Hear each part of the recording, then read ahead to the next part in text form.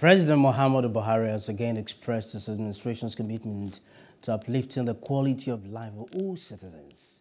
He is also assuring that he would not abandon the promises made to Nigerians. The president stated this in his Christmas message to Nigerians released by the media unit of the State House, Abuja, on Friday.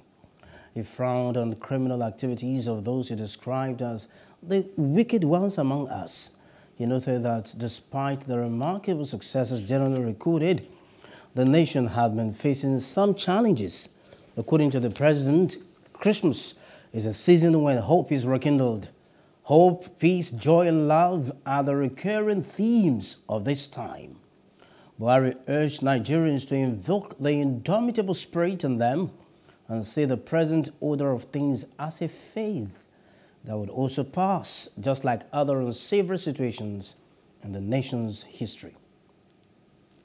Now, the National Security Council has assured Nigerians of peaceful Christmas and New Year celebrations. The Minister of Interior, Rauf Aregbesola, gave the assurance on Friday while addressing State House correspondents at the end of a meeting of the Council. It was chaired by President Muhammadu Buhari. Hello, hope you enjoyed the news. Please do subscribe to our YouTube channel and don't forget to hit the notification button so you get notified about fresh news updates.